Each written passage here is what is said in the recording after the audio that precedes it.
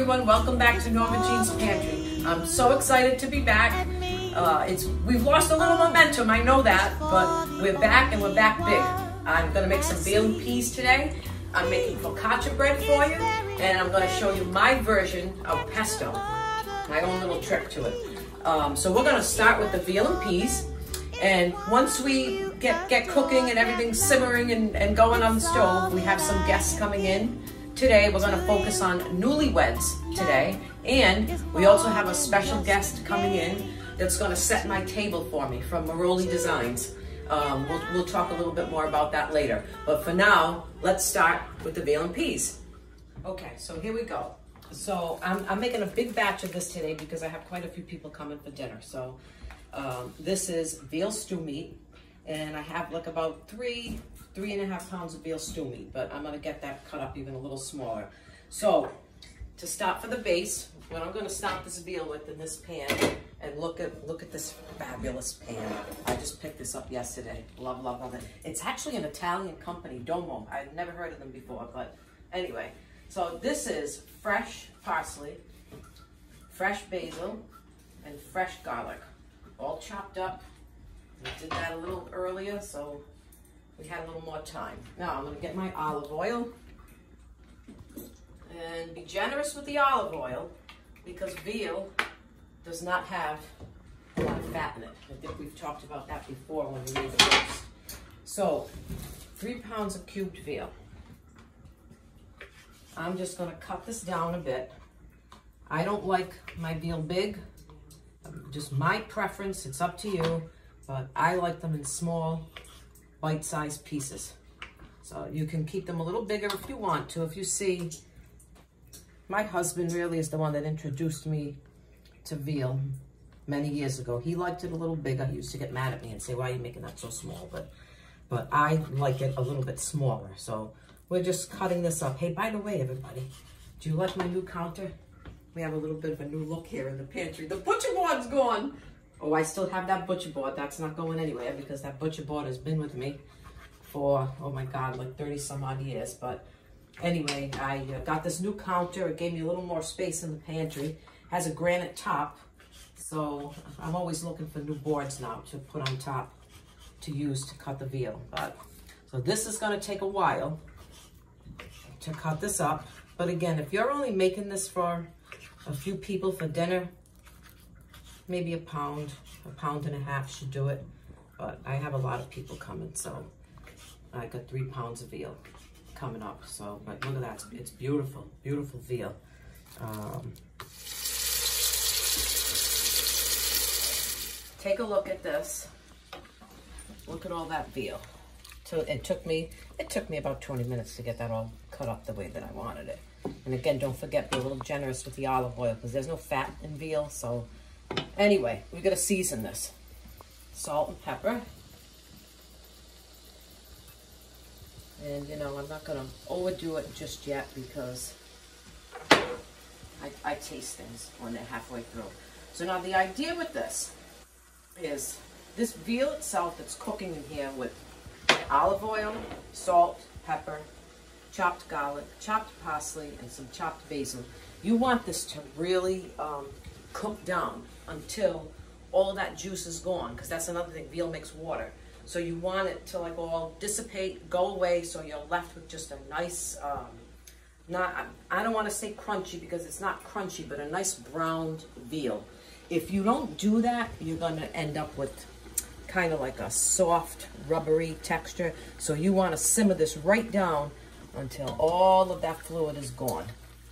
All right, and you know what? Time, time is of the essence, you know, so you just, you need, you need some time to do, to, to do this. This isn't a dish that you're gonna make in like 30 minutes. You have to let this sit here. Preparation isn't that long, it's the cooking that's gonna take a while. However, keeping in, in, uh, in our theme of newlyweds that we have coming that are gonna be on the show, it's a very easy dish to make. Uh, my mother-in-law actually taught me how to do this. Again, I, I think I've talked about this before, but um, my, my husband's family, all in the meat business, and they were big veal eaters, and they, they did, my mother-in-law, oh my God, she made the best veal and peppers that you ever had in your life. Um, but this veal and peas, she, she taught me how to do, and it's one of my favorites. And when this is boiled down, you'll see another reason why I like it. This is my secret ingredient. Marsala wine goes in it. Little cup of Marsala wine. So we're going to do that after, once this is um, cooked down to the way that it's supposed to be. We'll, we'll take a picture of it and show you that after. So with, with dinner today, um, this will take up some time for me while the veal is simmering down. I'm making focaccia bread.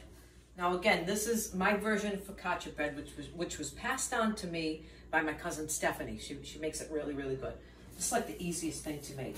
So I went to Bono's Bakery this morning. Bono's on Hartford Avenue. I love I love their dough.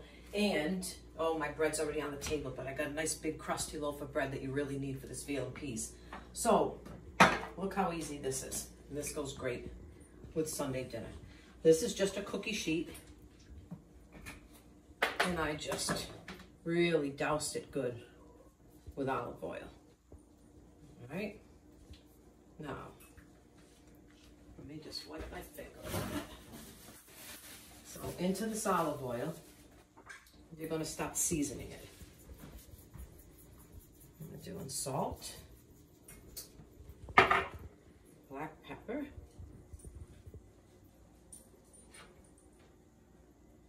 I don't know about you guys, but when I first got married, I was only 20 years old, by the way, when I got married. A, uh, you know, back back then, 1980, if you weren't married by the time you were 20 or 22, people started like watching the clock. But anyway, what the heck did we know? You know, we were all kids.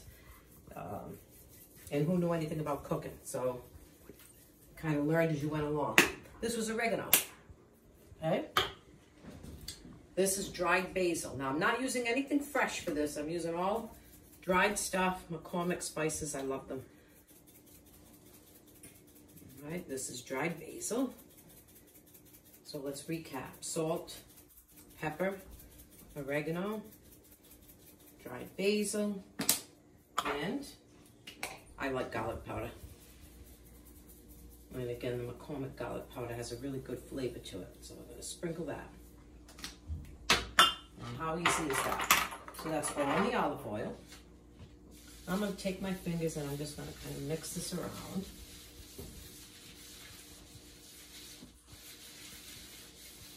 All of the flavors get into that olive oil. I'm going to take a little, just a smidge, not too much, just for a little flavor. A little sprinkle, that's Pecorino Romano cheese. And again, just a little flavor. It's not really about the cheese, it's about the bread. Okay, now watch how easy this is. I'm gonna take the dough. You don't even have to do anything to the dough. Pull it out of the bag. Now, you know, I've said this before in my videos, you could make your own dough, but why? Especially in the state, there's no reason to. The bakeries around here are fabulous I was also in D. Louise this morning. Oh boy. D. Louise Bakery, my favorite for pastry. Maybe you see the pastry I got from them today. I saw Sal. Louise. I told him I was going to mention him on my video today. We'll show you the pastry later. So, I have these two pounds of dough. Actually, you know, I'm going to correct myself on that. This was Bono's dough. So their bags are bigger than one pound. They're usually like two pound bags. So sometimes I, I wonder, I think it's a little short, but so anyway, we're just gonna take this. Look at this, how easy is this? And you're gonna spread it and press it. Just press it with your fingertips. Keep pressing it into that oil. It's all pressed in on that side. You're gonna take it, take the dough, and you're gonna flip it over. And you're gonna do the same thing on the other side. And you just keep pressing. See that? See when you press with your fingertips, makes holes. That's what gives it that focaccia look. I may have gone a little overboard on the oil, but maybe not. We'll see how it comes. All right, so this is gonna go in the oven, 375. Just put it on the middle shelf. Put it in there. Now, what happens with this is, actually, I gotta move my chicken down. This is gonna cook on one side, and you're gonna flip it. Probably in about 15 minutes or so, we're gonna take that and we're gonna flip it over. All right, so let's continue. So th these are some fresh mushrooms. Uh, I got the whole ones. I'm not crazy about the sliced ones. Um, they don't always look too fresh. Uh, so I sliced these up myself. I'm gonna put the mushrooms in next. Take a look at this. See how it, see how all the juice is going now? We just have some of the oil in the bottom of the pan left. So we're gonna add the mushrooms next. a few more.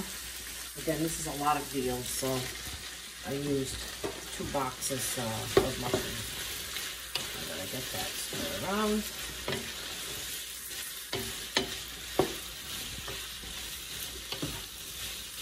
Get those mushrooms coated a bit. Now, to this, I'm gonna add, here comes the wine my favorite. I finally found a liquor store that had it, Pastene Marsala wine. The smell alone. Don't ask me why. This is just like my favorite, my favorite, favorite. Marsala anything. So, so I'm going to tell you about a cup of wine, but look at me. So, there we go. I don't, I don't measure a thing. What Italian does. Only if you're baking, you measure. let's see how that looks. I wish, oh my God, I wish that you could smell this already. So we got about a cup of Marsala wine in there. Beautiful. Now the alcohol will burn off of that and you're going to end up with the sweetness of that wine because this is going to simmer and simmer. And again, Pastene, I love Pastene.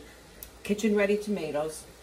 Uh, you know, when I make my gravy, I put the kitchen ready tomatoes through the mill to get rid of uh, the seeds and any like chunks of tomato. I don't like to see that in my gravy, but in something like this, you want to see it.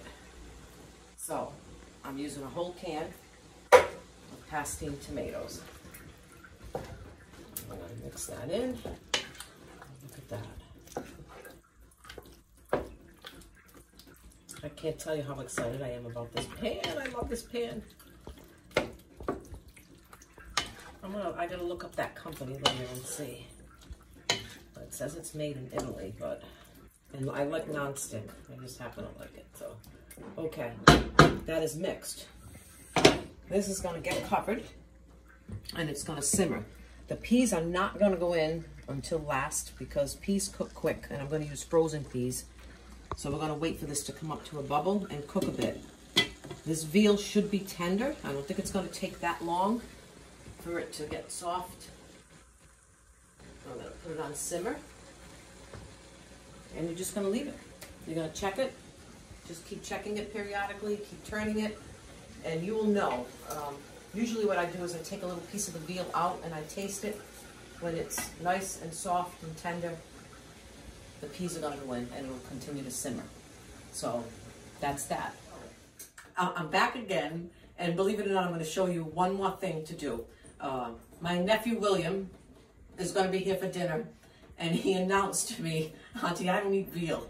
So I said, okay, I have to make him something else. I do some chicken legs in the oven for him.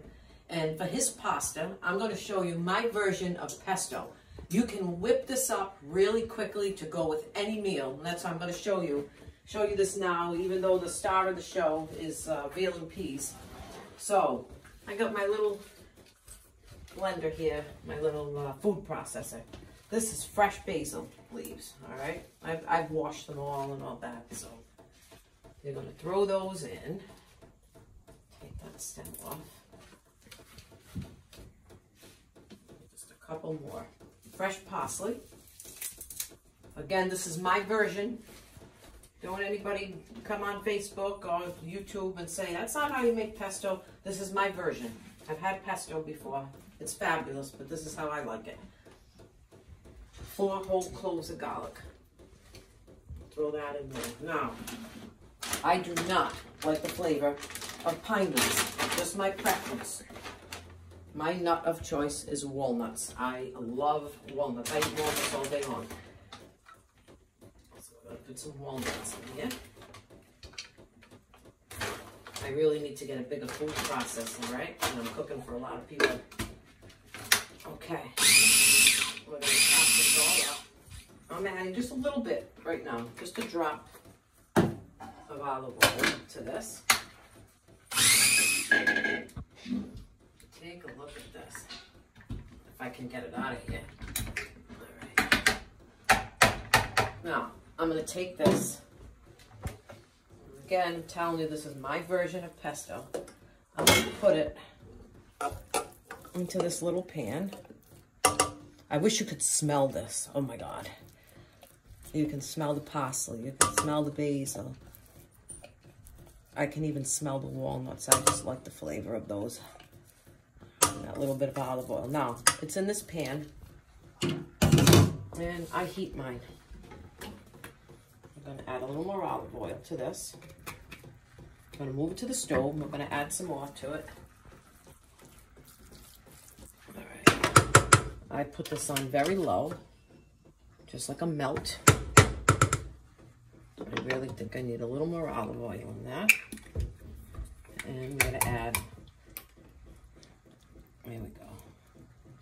I'm gonna add some salt and pepper.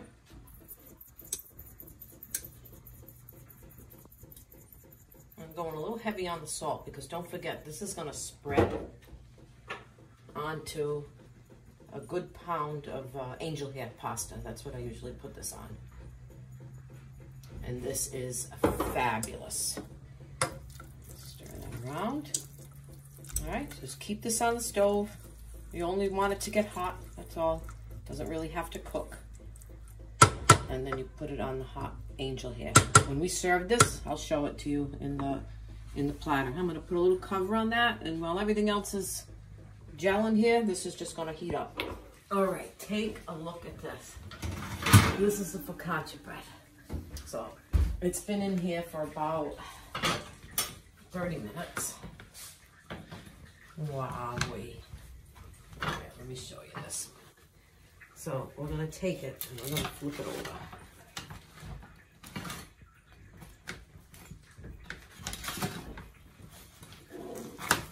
Oh, oh my God, this is like crispy. Crispy, crispy. We're gonna flip it. Again. All right, it's gonna go back in the oven just until the other side is just as crispy as that. All right, so I tasted the veal for me. Oh boy, I could have eaten half of it. It's nice and tender, look at that, beautiful. Then we're gonna add the peas. And that was, now again, I told you I used three pounds, actually a little over three pounds of veal, two boxes of uh, fresh mushrooms, a few cloves of garlic, the olive oil, a cup of marsala wine, one can of Pastene tomatoes. This was two bags of uh, frozen peas. I used bird's eye garden peas and just, you know, the regular normal size bag. Look at that. So you know when you add the frozen peas, now it brings the temperature down of your dish whenever you add anything frozen. So you see it stops simmering. So I'm going to cover it again until it comes up to the simmer. And let's take a look at this quick. I just shut this off. Look at this pesto. Again, that's Norma Jean's version of pesto. Oh, it smells out of this world. Fabulous. Okay, so I'm just gonna shut it off. I'm gonna leave it here till we're ready for dinner. The focaccia bread is done. Let's pull this up here. Oh, we're gonna cut it. Now, Do you see someone standing in my pantry? This is Anthony Merolli. Uh, Anthony is from Merolli Designs. Um, he, he'll, he'll design your house for you. He, he decorates, he does tablescapes, um, anything. So his daughter, Catarina, is coming today for dinner. She's our special guest with her husband, John. They were just married this past October, and needless to say, if you saw uh, the decor of this wedding, it was it, it would have just bowled you over. So Anthony is here today. Well, I've been in here busy cooking. He has been going through everything that I have in my house, and this is what he'll do for you. Used everything that I had, and if you see the table design that he did for me, it, it's nothing short of spectacular, and it looks like we're dining al fresco in Italy. You'll you'll see pictures of that later. So we're gonna get this focaccia bread cut. I want you to see how this looks. And Anthony, you get to taste it. All right. All right. I'm gonna pull this out of here, and I don't want you to touch this pan because it's still hot. So we'll leave that there. Okay.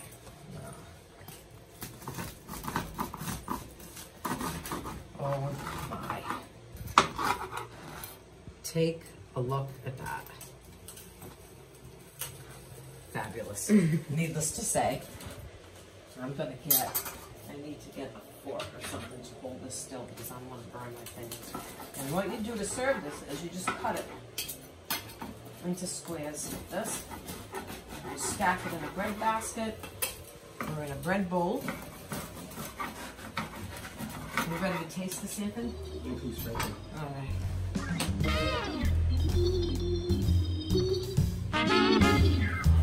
Right? and, it, and it goes, it goes real, real deep. So there you have bread. How easy was that?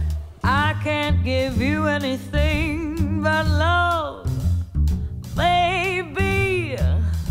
That's the only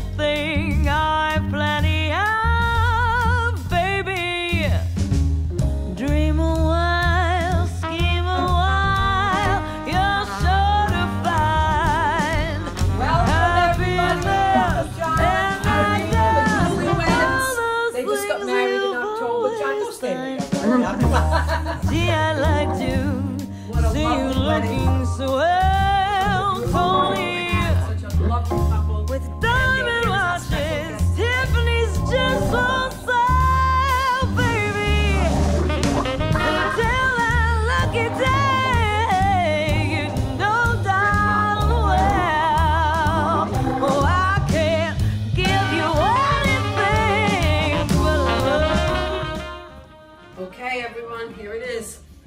put this over pasta. Here's the veal and peas.